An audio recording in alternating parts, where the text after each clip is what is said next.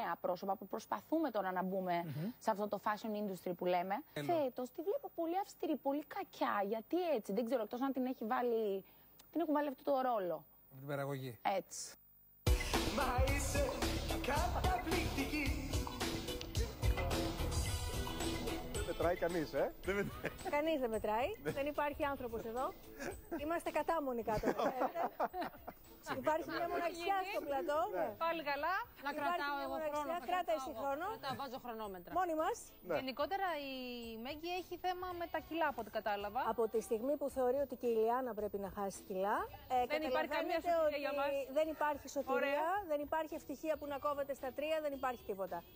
Ε, Όμως, εγώ δεν θέλω να απαντήσω κάτι. Γιατί αισθάνομαι ότι κάνω αρκετή. Έχω Μην κάνει αρκε- απαντήσεις, καλά, πας Όχι, καλά. αισθάνομαι ότι έχω κάνει αρκετή καριέρα πια στην πλάτη της Μέγκη και δεν χρειάζεται. Πια βρήκα τώρα έναν άνθρωπο και ε, γίνομαι. Τον, έχω, τον, τον στοχοποιώ και γίνομαι κι εγώ γνωστή πάνω του. Δεν είναι σωστό. Ναι. Δεν θα ξαναπώ τίποτα. Όχι. Εντάξει, θα μπορούσε, εγώ πιστεύω. Και θα Στο- σοπα- Στοχοποιώ, και θα σοπάς. στοχοποιώ γίγαντες τις τελευταίες εβδομάδες. Όχι τα φασόλια. Γίγαντες, στοχοποιώ γίγαντες. Οπότε